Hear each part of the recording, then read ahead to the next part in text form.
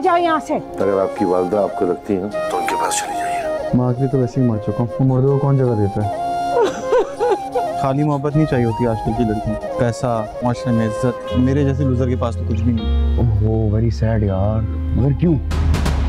लड़कों से दोस्ती और इतनी बेतकल्लुफी? मैं वो क्यों ना करूँ जो मुझे अच्छा लगता है? दोबारा बुध शब आठ बजे।